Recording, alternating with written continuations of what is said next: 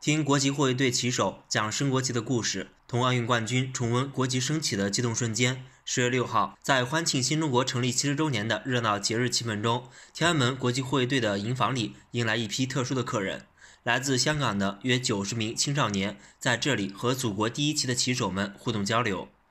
这里是国际护卫队荣誉室，荣誉墙上一幅幅相片、一块块奖牌，讲述着国际护卫队获得的荣誉。香港青少年们分坐荣誉室左右，骑手袁劲爽讲起中队老班长脚掌钉钉子的故事。因为他那个马靴穿时间很长，有点破损。嗯。然后那个钉子呢，就从鞋跟里面扎出来。天哪！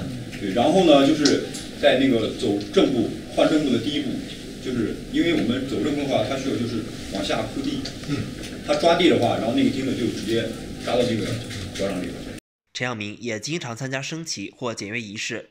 听完故事，他深感佩服，现场就请袁劲爽教起了动作。我觉得非常的不一样，因为他作为这个呃国旗班的轻旗手，嗯，他所有的动作的标准十分的高，呃，然后他的这个素质也非常过硬。我觉得在可以被他教导是非常荣幸的一件事。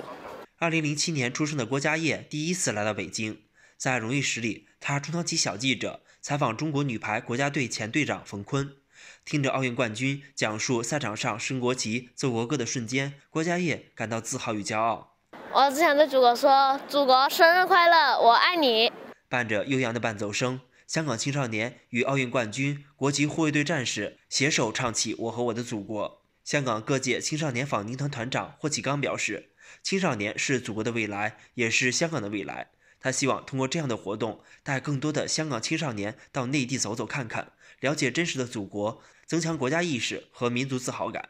我希望他们来到这里，来到看到这个国旗背后的这种小故事，无论是呃那个仪仗队也好，无论是科学也好，无论今天那个呃体育的这样。每一面国旗背后都有自己艰深的故事、骄傲的故事，所以刚才分享也说，我希望他们自己可以找到。所以来到北京，第一点就是来到这个地方，我希望他们可以有一个，嗯，离国家的这种这种心牵得更实在、更更更连在一起吧。更多精彩尽在中国新闻网客户端。